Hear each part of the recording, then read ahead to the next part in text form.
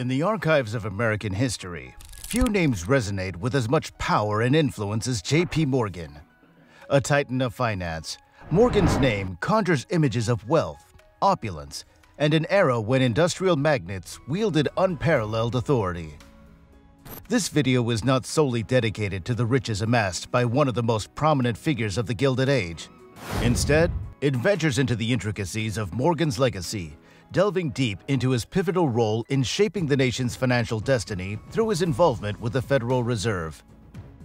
The Federal Reserve, born out of Morgan's financial prowess and economic turbulence of his era, continues to influence the lives of every American citizen. Did J.P. Morgan indeed save America with his banking acumen?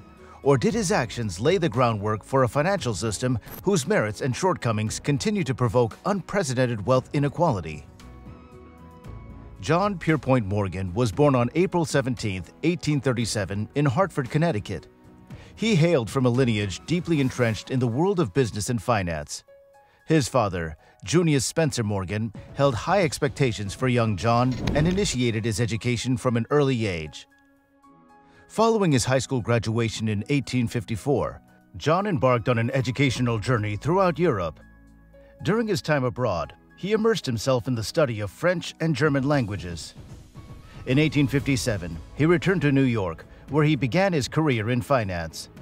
Not long after, in 1861, Morgan married a woman by the name of Amelia Sturgis, the daughter of a prosperous New York businessman. Tragedy struck four months later when Amelia succumbed to tuberculosis, marking a depressive chapter in Morgan's life. Devastated by Amelia's death, the young businessman plunged himself into his work. J.P. Morgan's journey to financial prominence began when he joined the New York banking firm of Duncan, Sherman and Company in 1857. He learned the ropes of the financial world during a crucial period in American history, as the nation was on the cusp of a civil war. During the Civil War, Morgan's father, Junius Morgan, acted as an intermediary for the British government in securing loans to fund the war effort giving young JP valuable exposure to international finance. One pivotal event that catapulted Morgan into the financial elite was his role in financing the expansion of the American railway system. In the late 19th century, railroads were the backbone of the American economy, and Morgan played a key role in consolidating and reorganizing several struggling railroads. Most notably, he was instrumental in the creation of the Pennsylvania Railroad, which became the largest transportation company in the world. His ability to negotiate complex deals and provide capital for these endeavors earned him a reputation as a financial wizard. Another milestone in Morgan's career was the formation of his own firm, J.P. Morgan & Company, in 1871. The firm quickly gained a reputation for its financial stability and expertise, attracting wealthy clients and corporations seeking his financial guidance. Morgan's firm provided critical financing for the transformational merger that created General Electric in 1892, and he later played a central role in the formation of the Northern Securities Company, which aimed to consolidate control of several major railroads.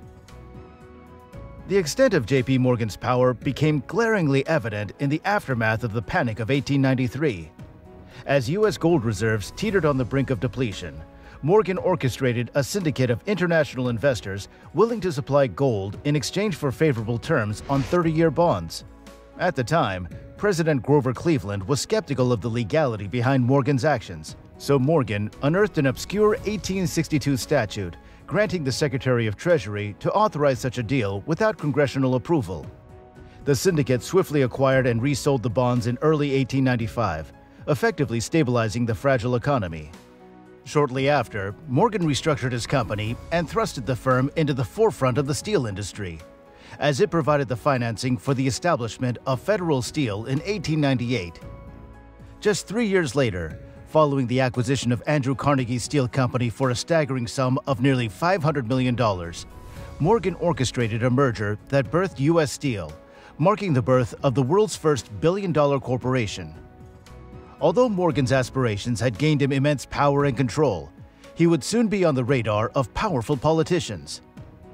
President Theodore Roosevelt took aim at Morgan, leveraging populist demands against the wealthy Wall Street robber barons, as they were nicknamed.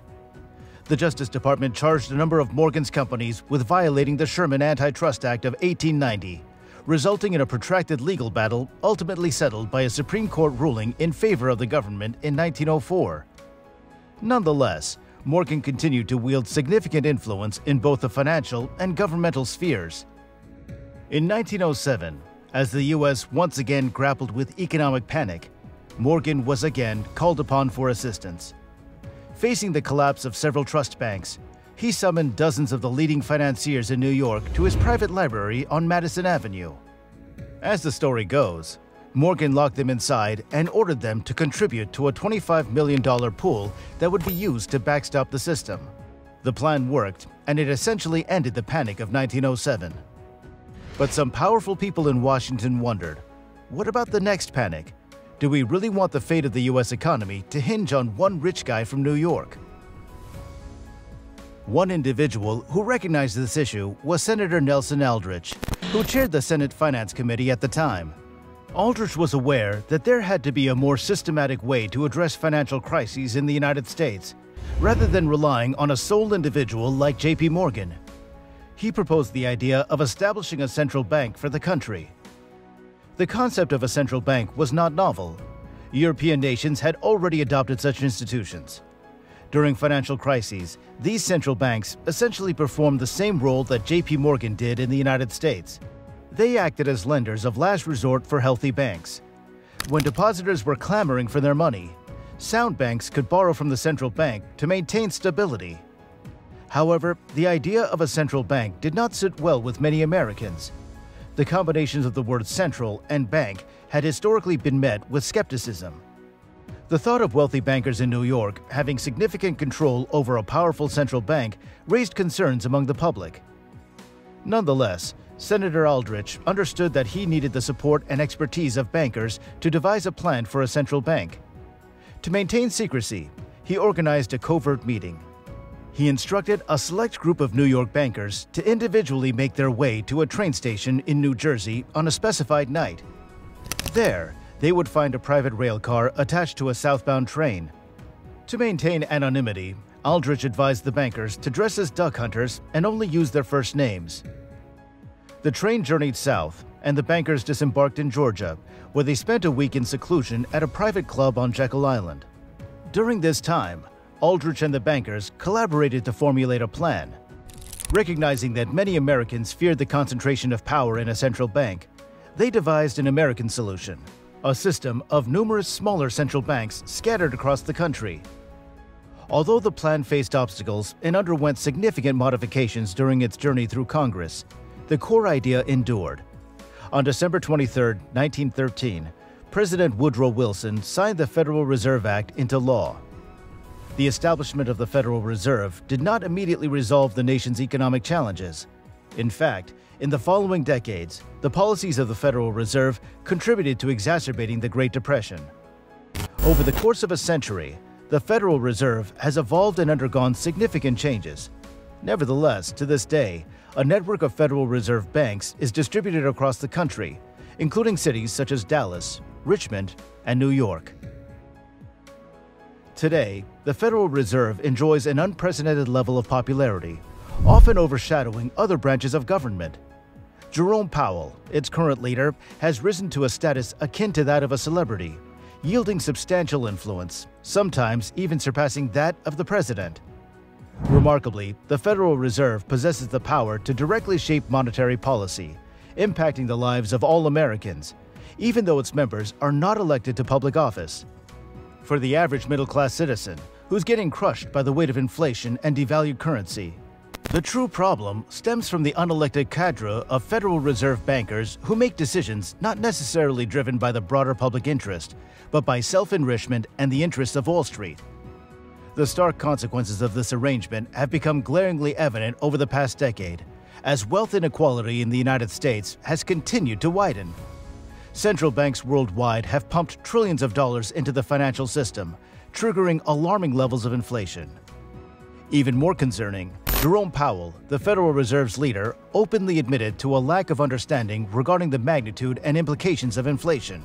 When officials like these are responsible for decisions that have eroded 95% of the purchasing power since the Federal Reserve's inception, it prompts reflection on the need for a more equitable system, one that benefits all citizens rather than primarily the top 10%. So what are your thoughts on JP Morgan's role in the birth of the Federal Reserve? Do you think he foresaw the turmoil that would arise from its establishment? Please leave your thoughts in the comments below. And if you enjoyed this video, consider helping us out by liking this video and subscribing to our channel. Thanks for watching.